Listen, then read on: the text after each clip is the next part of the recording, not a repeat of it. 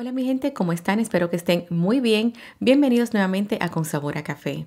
Hoy les voy a compartir una breve actualización del caso de Keishla Rodríguez y Félix Verdejo. Hace aproximadamente dos años les compartí el caso unos días después de haber ocurrido los hechos. Y hace unos días acaba de culminar el juicio en contra de Verdejo. Muchos de ustedes me pidieron que le diera seguimiento a este caso y aquí estamos. Vuelvo y aclaro, ese es un breve resumen para dar a conocer el veredicto.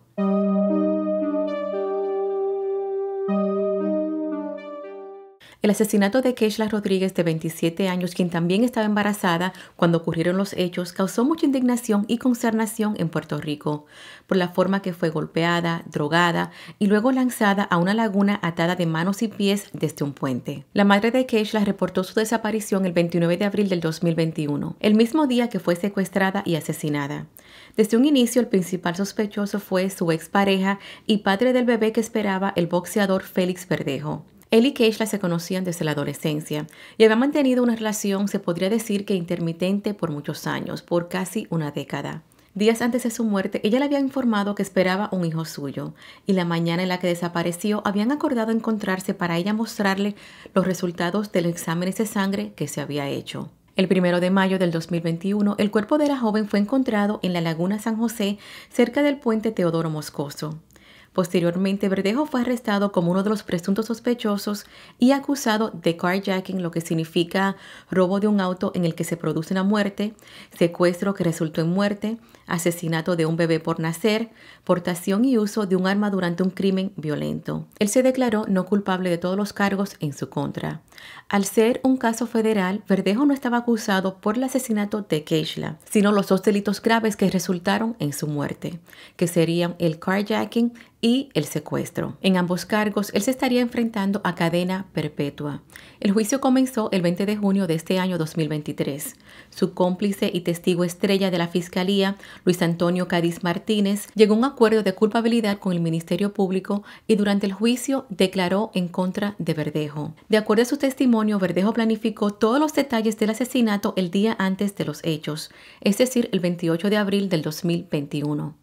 Finalmente, después de 25 días de juicio y varios días de deliberaciones, el pasado viernes 28 de julio, alrededor de las 8 de la noche, un jurado federal en Puerto Rico, compuesto de nueve hombres y tres mujeres, encontró a Félix Verdejo culpable de dos de los cargos federales en su contra, secuestro que terminó en muerte y asesinato de un bebé por nacer.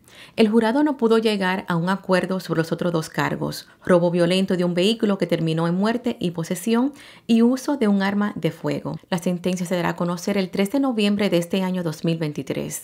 Al salir de la sala, es decir, al culminar el juicio, la madre de Keishla dijo textualmente, se le hizo justicia a mi hija y a mi nieto. Que gracias por todo, a todos esos padres, gracias, le hice justicia a mi hija y a mi nieto. Y el mensaje que siempre he dicho desde el día uno, hay que ser amigos de nuestros hijos, tenemos que saber dónde nuestros hijos están, eso es algo bien importante.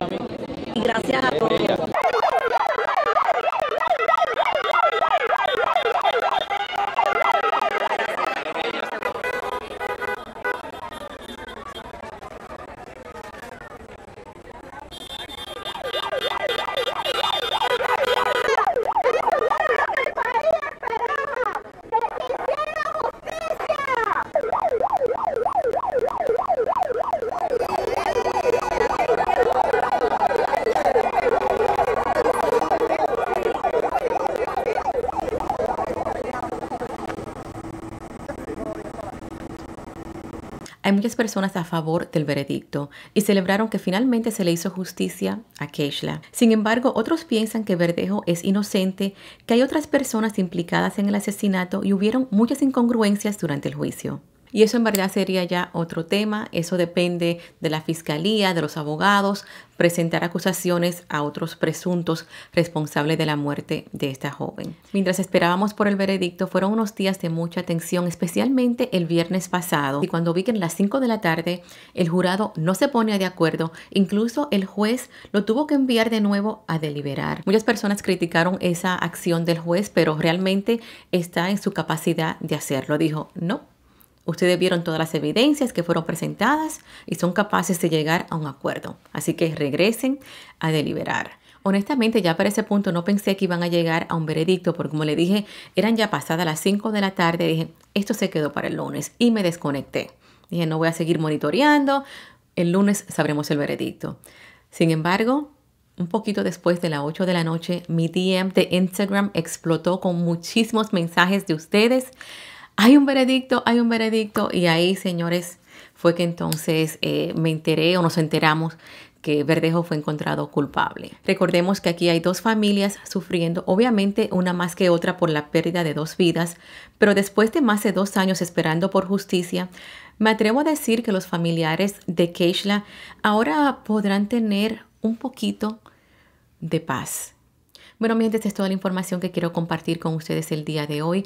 No hago un video más detallado, con más información, porque honestamente no seguí el juicio día tras día. Fueron 25 días de juicio y solamente eh, lo vi por uno, dos días. Así que, y además, muchos de ustedes, de mis seguidores, son de Puerto Rico ya saben todo lo que ocurrió, así que esta información o este video más bien es para todas las personas que no siguieron el juicio, que no saben del veredicto y me pidieron que le diera seguimiento al caso de Keishla. Si alguno de ustedes les interesa saber más información, conocer más sobre lo que se presentó en el juicio, los testigos y etcétera, aquí en YouTube hay un sinnúmero de canales de Puerto Rico que presentaron el juicio día tras día.